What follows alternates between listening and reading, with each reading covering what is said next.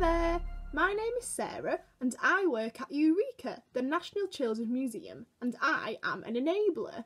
And today I've created this little video as a little drama game for you to try at home. So, the aim of the game is to create lots of different stories using lots of different things that you might find in your house. So, how this exercise works is that one person is the story master. So that could be you, it could be your friend, could be your mum, could be whoever's at home and whoever wants to join in. So the story master might say something like, you have 10 seconds to find as many things that are the colour red.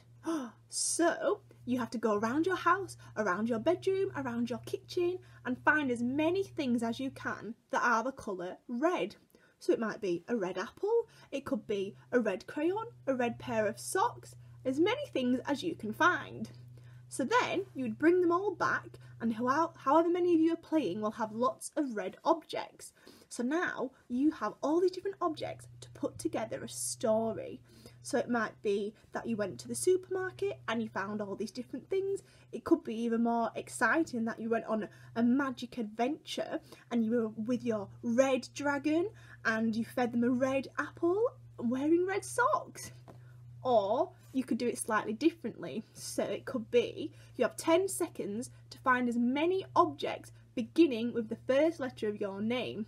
So mine would be S, S for Sarah. So I'd have to find as many objects as I could that start with the letter S. So that could be slippers, it could be salami, it could be anything that you can find.